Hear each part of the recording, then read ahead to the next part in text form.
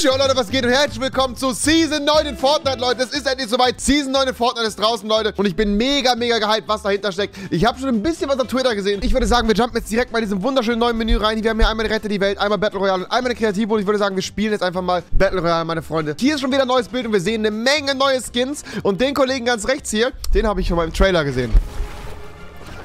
Oh mein Gott, okay, was geht ab? Banane und Ben laufen in ein Bunker rein. Oh, nice. Da kann man chillen, Digga. Nice.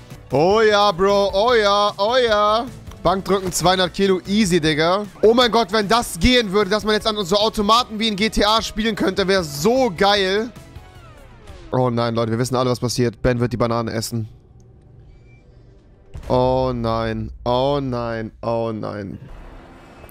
Oh nein, da ist die Banane in diesem Glas drin wird gerade getrunken. Oh nein, die Arme, die Arme. Sieht aus wie so ein Centurion. Alter, was ist denn mit Ben passiert? Alles klar. Oh mein Gott.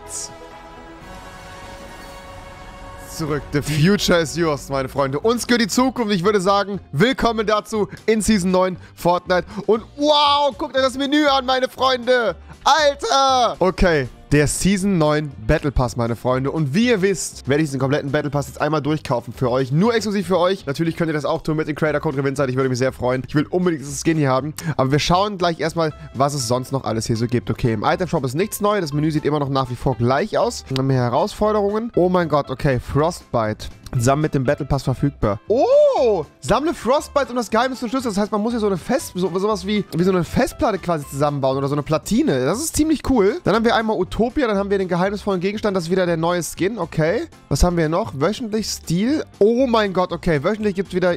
Zehn Wochen ist die Season wieder lang. Dann haben wir hier Stil-Skins. Und das sind alles die Skins, meine Freunde. Von Season 9, die wir zwischen sehen können. Sentinel. Das war der Bruder, der da eben die Tür aufgemacht hat. Mega cool. Sieht richtig, richtig nice. Sieht aus irgendwie wie so ein Hahn oder so sowas, ne, gefühlt. Der gefällt mir einfach richtig gut. Sieht einfach komplett aus wie ich. Er sieht einfach, also, Junge, finde ich richtig, richtig nice. Also wir können scheinbar alle Skins hier wieder aufleveln. Und ich würde sagen, meine Freunde, jetzt ist an der Zeit, nochmal ganz kurz ein paar V-Bucks zu kaufen. Oh, wir haben wieder ein neues Paket drin. Das Inferno-Paket sehe ich hier gerade. Und das Lagoon-Paket. Okay, das Inferno-Paket sieht schon ganz lecker aus, muss ich mal ganz ehrlich sagen. Das ist auf jeden Fall echt nice. Da haben wir auf jeden Fall noch ein paar V-Bucks dabei. Ähm, ja, nicht schlecht, meine Freunde. Ich würde sagen, ich kaufe mir ganz kurz ein paar V-Bucks und dann kaufen wir erstmal gemeinsam den Battle Pass durch. Die V-Bucks rollen rein, meine Freunde, und jetzt ist es Zeit, sich den Battle Pass zu gönnen. So, wir kaufen natürlich direkt das Battle Pass Paket. Wie gesagt, Creator Code Revinzeit. Ihr wisst Bescheid. Mit diesem Kauf unterstützt Revinzeit. Achtet unbedingt drauf, meine Freunde, falls ihr den Battle Pass kauft. Unterstützt mich gerne im Item Shop. Ich würde mich sehr, sehr darüber freuen. So, wir haben auf jeden Fall schon mal ein paar Outfits dabei. Ich würde sagen, wir erwerben das Ganze mal. Und haben jetzt schon mal mehrere Stufen frei hier. Oh, Digga, schöne Font hier auf jeden Fall. Sentinel ist auf jeden Fall jetzt am Start. Wir haben hier auf jeden Fall eine an den Fehlbuch. Sie ist ganz süß tatsächlich. Sentinel, ein sehr cooler Skin. Oh, nice. So ein neues Rap für die Waffen. Das machen wir gleich direkt mal drauf. Dann haben wir hier so komische Lichter, Neonröhren, die an uns runterziehen ziehen. Ganz cool. Hier ein neues Backbling. Okay, die Lava steigt. Ein neues Bild. Gerechtigkeit. Neue Muckeln. Hier wieder ein paar Sticks. Da freut sich jemand. Das ist aber ein süßes Emote, Alter. Das ist cool. Das gefällt mir. Ein massiv geiler Gleiter. Dann haben wir jetzt hier den Bunker Jonesy auf jeden Fall. Oh mein Gott, okay. Und nochmal 400 V-Bucks dazu. Okay, nice, Leute. Ich würde sagen, wir schauen jetzt mal ganz kurz, was der Battle Pass noch so für uns offen hält. Guckt euch das an. Wir haben hier auf jeden Fall Vega, die man leveln kann. Oh mein Gott, geiles Emote. Das brauche ich auf jeden Fall. Eine richtig nice Spitzaxt. Oh, wie cool sieht die denn aus? Dann haben wir hier so einen Schildwirbler. Dann haben wir hier eine neue Katze, so einen Roboter. Okay. Dann haben wir hier auf jeden Fall Stratus, der auf jeden Fall gelevelt werden kann. Den Rescher als Geleiter.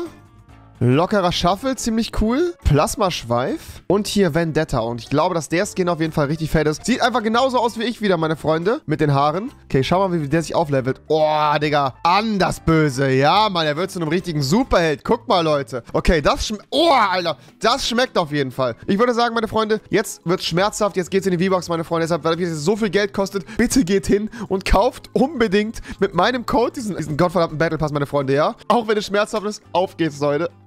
Aua. Wir müssen noch einmal kurz bis zum Ende durchkaufen, meine Freunde. Und wir sind quasi bis zum Ende da. Alter! Wow, ist der geil. Okay, mit dem spielen wir jetzt direkt mal. Gut, ich würde sagen, wir gucken mal ganz kurz in den Spind und müssen uns jetzt mal alles erstmal anschauen. Also, wir haben ja einmal Sentinel, dann haben wir einmal sie hier, dann haben wir einmal ihn hier. Jonas sie auf jeden Fall hier im ganz aggressiven obdachlosen Outfit. Hier Stratus, dann haben wir einmal Vega hier, richtig, richtig nicer Skin. Die gute Demi, sieht auch ganz cool. Das ist alles so ein bisschen, erinnert mich so ein bisschen an Cyberpunk irgendwie so ein bisschen an das Spiel. Dann nehmen wir auch direkt die neue Pickaxe hier rein, die ich ganz schön fand tatsächlich. Wir haben hier nochmal so einen Stahlhammer, finde ich auch ganz cool. Und das ist auch eine Pickaxe. Okay, das ist interessant. Ich weiß noch nicht genau, wie das dann aussehen soll. Das ist auf jeden Fall ein Baba-Gefährt hier auf jeden Fall. Sieht auch ziemlich fett aus. Dann haben wir hier auf jeden Fall eine Menge neue Emotes.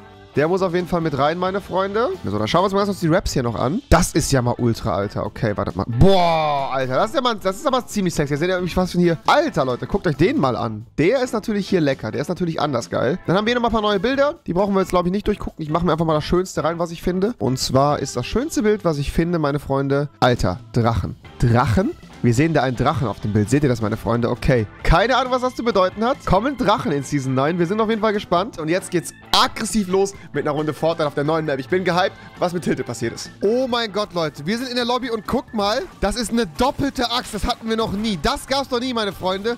Das gab es wirklich noch nie. Wir haben eine doppelte Axt jetzt hier als Pickaxe. Das sieht ja mal mega krass aus. Oh, was ist mit der Map passiert? Was ist mit der Map passiert und was ist mit Tilted passiert, Leute? Neo Tilted und Mega Mall. Ich würde sagen, wir fliegen direkt mal nach Neo Tilted, Alter. Ey, krank. Okay, ich würde sagen, wir fliegen mal ganz... Die fliegen so Zeppeline rum. Kann man darauf landen? Okay, man kann auf den Zeppelin scheinbar nicht landen. Die sind nur Deko. Schade drum. Boah, Leute. Guckt euch Tilted Towers an, meine Freunde. Also das ist ja mal komplett anders. Und hier hat überall so komische Rohre und alles drinne. Wahnsinn. Okay, ich würde sagen, wir fliegen mal ganz kurz hier in das Gebäude. Okay, machen wir doch nicht, weil da war ein Gegner. Ähm, ich würde sagen, wir fliegen mal von unten hier rein. Ja, Leute, das ist auf jeden Fall ein geiler Start in der Runde, oder? Nö. Ich glaube, ganz oben auf dem Dach lag ein Medkit drauf. Kleinen Moment, Leute, wir gehen mal ganz kurz hoch. Okay, da vorne tanzt auf jeden Fall jemand rum. Okay, einen haben wir jetzt geholt. Müssten wir eigentlich mal ganz kurz runtergehen. Gefällt mir, gefällt mir das neue Tilted. Sehr viel enger jetzt alles, sehr viel kleiner natürlich jetzt hier, aber im Großen und Ganzen glaube ich ganz nice. So, was haben wir denn hier? Wir haben jetzt hier so Schnelltransportationsröhren, nehme ich an. Ist jetzt die Frage, was man damit machen kann. Ich glaube fast schon, dass man sich damit halt natürlich schnell über die Map bewegen kann, logischerweise. Jedenfalls sehr viel Stahl jetzt hier neuerdings in Tilted tatsächlich. Das kann man auf jeden Fall sagen. Oh, okay. Oh, okay, das ist nice.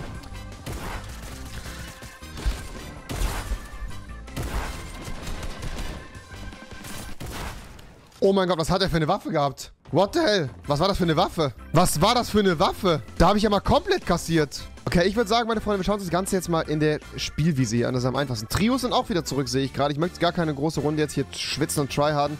Ich würde mir einfach mal gerne ganz kurz in der Spielwiese anschauen, wie die neuen Dinger so aussehen, die neuen äh, Karten und äh, vor allen Dingen, was man in diesen neuen Orten so machen kann. Bin auf jeden Fall mal gespannt, wie es in der Mega Mall aussieht, ehemals Retail Row. Ich werde auf jeden Fall auch später noch ein wenig streamen, meine Freunde. Also schaltet auf jeden Fall gleich mal auf Twitch rein. Werde so gegen 14 Uhr versuchen, live zu sein. Äh, wahrscheinlich schon 13.30 Uhr. Aber ähm, dann gebe ich euch nochmal genau ein Update auf Twitter. Okay, das sieht auf jeden Fall ziemlich, ziemlich cool aus. Wie gesagt, nicht vergessen, meine Freunde, 13.30 Uhr streame ich gemeinsam mit Standard-Skill. Wenn der noch online ist, ich denke mal, das ist auf jeden Fall machbar. Wenn nicht, streame ich ein bisschen alleine. Schaltet auf jeden Fall gleich auf Twitch unbedingt mal rein. Dann werden wir die ersten Siege diese Season hier holen auf jeden Fall. Die Dreifachsalbe ist wieder da. Leute, die Dreifachsalbe ist zurück. Seht ihr das? Wir sind auf jeden Fall hier gerade in einer neuen Mall, in der Mega Mall. Schauen uns das Ganze mal kurz an. Eine richtig geile Mall. Sieht wirklich, wirklich atemberaubend aus. Kann man nicht anders sagen. Gefällt mir ziemlich gut. Hier vorne gibt es ein Auto zu gewinnen. Auch schön. Schilde scheinen ein bisschen rar zu sein in der neuen Season bis dato. Noch nichts gefunden hier. Aber das ist auf jeden Fall Mega Mall, meine Freunde. Mit Pizza Pit und allem, was dazugehört. Und dann würde ich sagen, gehen wir jetzt mal ganz kurz von der Mega Mall hier in den Hyperloop rein, meine Freunde. Und gönnen uns das mal ganz kurz. Und okay, alles klar. Das ist cool. Das ist extrem cool. Das heißt, ich kann auch außen rausfliegen. Und lande dann einfach, kann ich auch einfach quasi zusteigen. Ne, man kann auch einfach zusteigen, Leute. Okay, das ist einfach nur geil. Das heißt, wir haben jetzt ein komplett neues Bewegungsobjekt auf der Map, nämlich diesen Hyperloop hier. Der geht einmal hier komplett um die Mega Mall rum. Was ist, wenn ich oben rausfliege?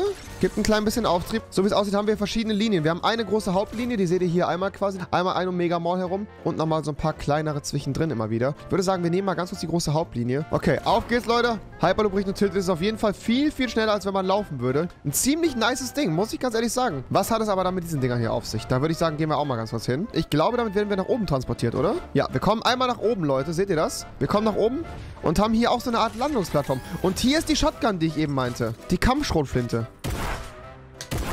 Okay, ähm, what the fuck? Also, Leute, versteht mich nicht falsch. Ich guck mal ganz kurz jetzt bei Google. Ist die neu? Die Shotgun ist neu und ich glaube, dass die ziemlich stark ist. Ihr habt ja eben gesehen, was ich damit für eine Schelle kastiert habe. Das war ja, das war ja nicht mehr feierlich, Alter. Das war ja nicht mehr feierlich. Was er hier macht, ist mir schleierhaft. Don't wanna be that guy, Bruder, aber... Es tut mir wirklich leid, ne? Aber ich brauchte die Schrotflinte. Goldene Shoddy, meine Freunde. Auf geht's. Okay, und hier scheint irgendwas an Energie abgesaugt zu werden, wie man hier sehen kann. Also Leute, ich glaube, dass dieses Season krass wird. Ich glaube, dass sich auf dieser Map sehr viel verändern wird. Oh mein Gott, Leute, also die Shotgun ist ja mal anders krank. Okay, Leute, das Ding macht ordentlich Schaden. Okay, alles klar, ich sehe es gerade schon. Okay. Ziemlich crazy. Okay, guckt euch mal diese Verfolgungsjagden an, Leute. Das erwartet uns auf jeden Fall alles in der neuen Season.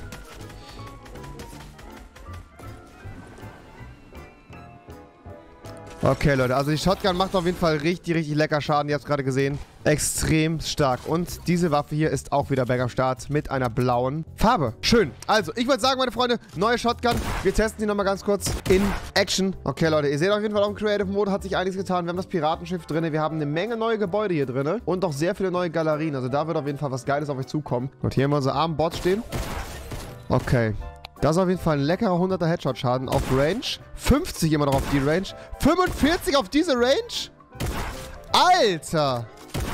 Alter Schwede.